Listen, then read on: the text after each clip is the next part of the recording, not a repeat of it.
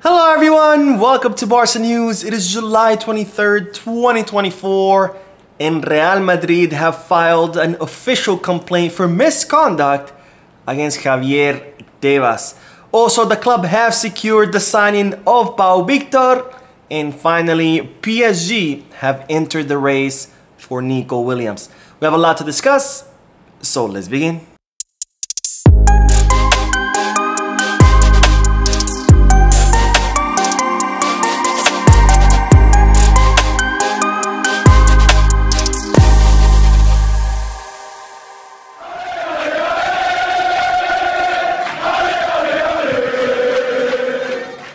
Everyone, welcome to the channel. My name is Mo. And before we begin with the news, just a quick reminder to make sure to hit that like button, subscribe to the channel, and drop a comment. All of this helps this channel continue to grow.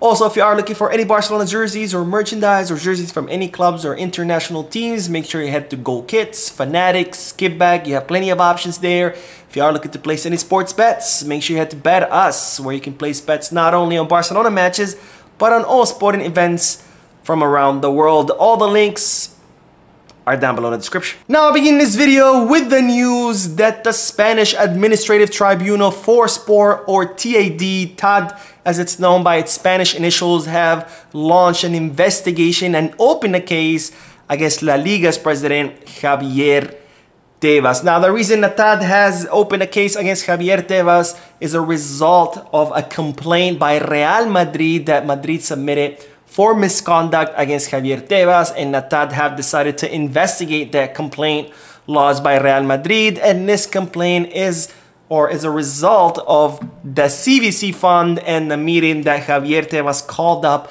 in order to discuss that CVC deal. Now, in case you don't know what the CVC deal is one of the first things I discussed here on my channel when I first opened the channel two years ago. But in case you don't know or you, you don't recall, but the CVC deal was a deal that Javier Tebas was able to negotiate on behalf of La Liga, where the CVC capital partners agreed to pump 2 billion euros into La Liga in exchange for 10% of TV rights of all the clubs that participated for a total length of 50 years. So to simplify all, uh, all, of, all of what I just said, if you were a club in the first or second divisions of La Liga and you agreed to this deal, you were agreeing to sell 10% of your TV rights to the CVC fund for a period of 50 years. In exchange, you would get a portion of the 2 billion euro cash that the CVC fund agreed to pump directly into La Liga. Now, as, as, some of you might recall, Barcelona opted out of this deal. They thought that 50 years was too long and that it wasn't too much money. So Barcelona ended up negotiating their own deals, which became known as the economic levers, where Barcelona sold some of their assets for much shorter period of time and for a lot more money than a CVC deal. While this complaint from Real Madrid comes as a result of one of the meetings that Javier Tebas called. Javier Tebas called a meeting for all the clubs in the first and second divisions of La Liga in order to ratify the CVC deal. And per the rules, he was supposed to call the meeting, you know, with 10 day warning. Instead, he did it with eight day warning, so two days less than what he was supposed to uh, give the clubs.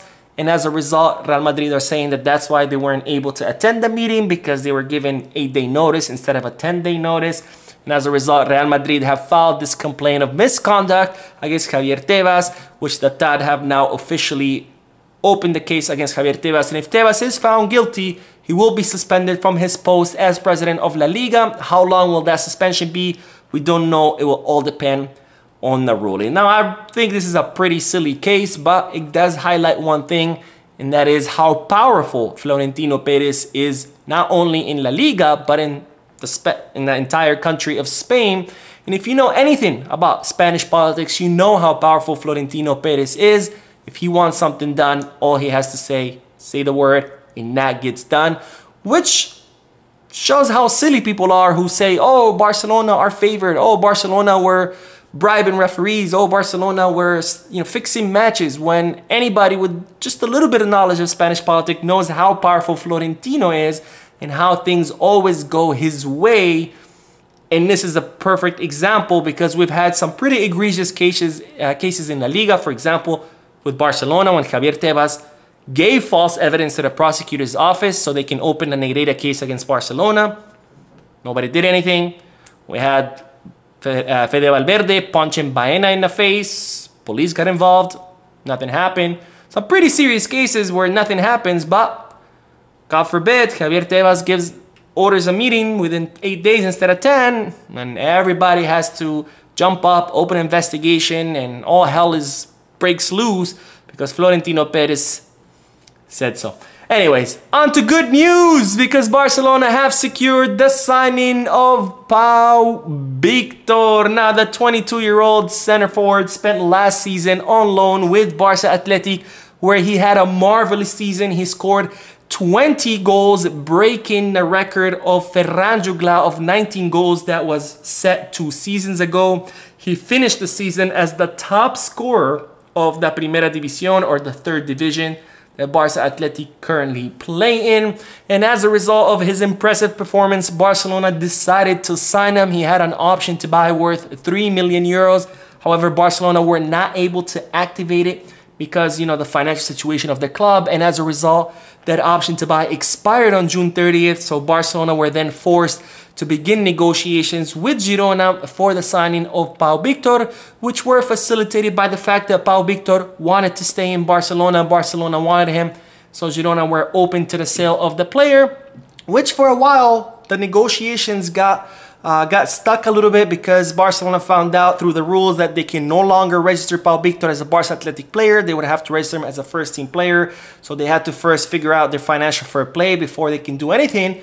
And well, it seems like they have because Barcelona have officially reached an agreement with Girona for the signing of Pau Victor. It's reported that the operation will cost a little bit north of 3 million euros, which was the value of the release clause, uh, or I'm sorry, of the option to buy. So great, great news. Pau Victor will become a Barcelona player. He will, of course, participate in the preseason under Hansi Flick. He's a player that's highly valued by Barcelona, not only for his goal scoring abilities, but also because he's a flexible attacker. Not only is he a center forward, but he can also play on both wings.